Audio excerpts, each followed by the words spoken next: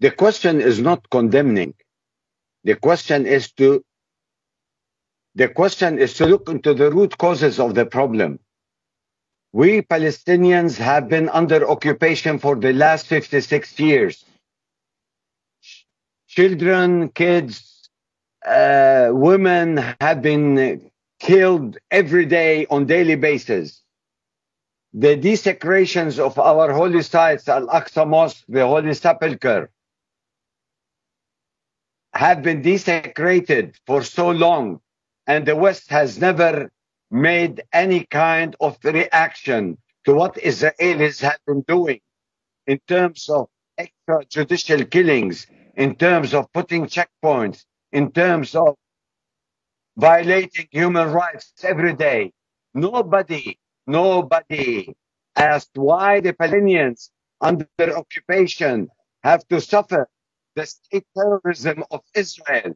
Rather now they are questioning why Hamas is doing operational activities, military inside the Green Zone.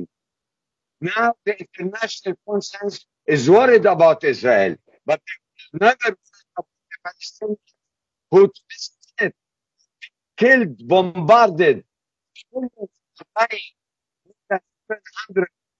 buildings are being torn down by the what have you.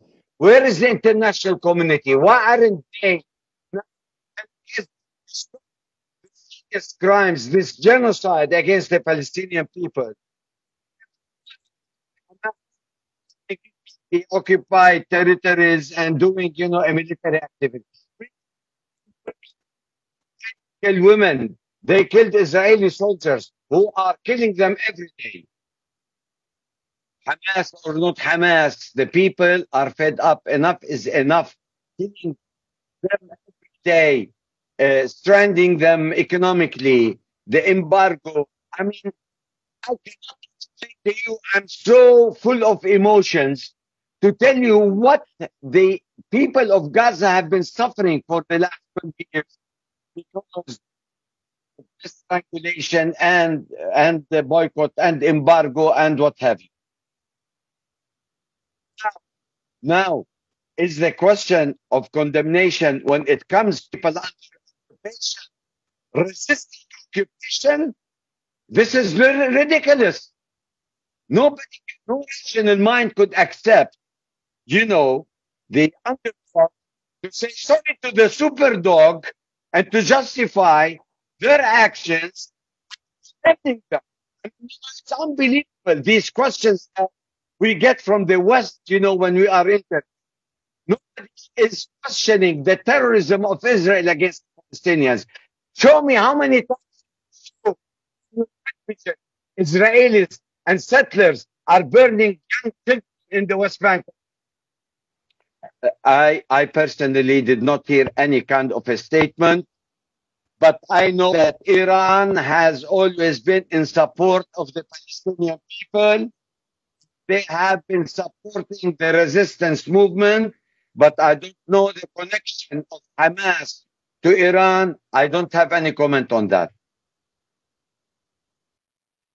The consequences of this is the destruction of all Gaza and the forcing of the Palestinians to go into the Sinai desert to exterminate completely the Palestinian issue that's the intention of Israel and cede the West Bank to Israel proper by giving by giving municipal rights to the Palestinians. This is the essence of what I call an apartheid state, the one state solution that Israel and the settlers are willing to do in the occupied territories. For us, it's a war of survival. It's enough. We have to resist. We have been killed every day. We have been maimed every day. enough hunger, enough uh, destitution, enough uh, violence and killings on daily basis. So what do you expect? Well, the question of ceasefire is inevitable. There will be outside forces, regional forces.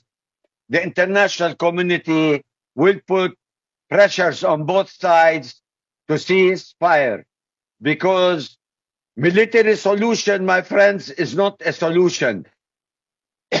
Israel tried so many times to destroy Gaza and to no avail. The Palestinian people are stay to resist and to stay on their land. We have six million Palestinians living in the occupied territory. Once, once to commit genocide, we say in Arabic, Ahlan wa sahlan.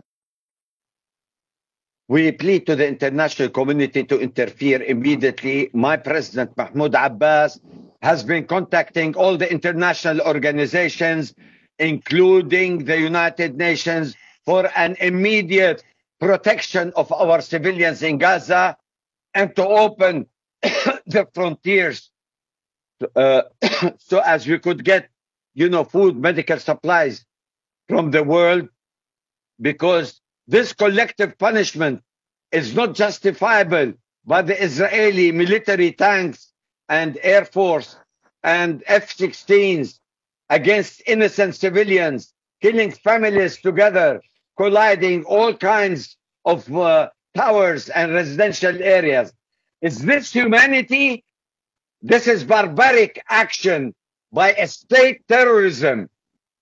So why the West is talking about one side and not the other? Why do they put the occupier and the occupied on the equal foot? The community that is trying to when it comes basically to the Palestinian people. But when it comes to Ukraine, all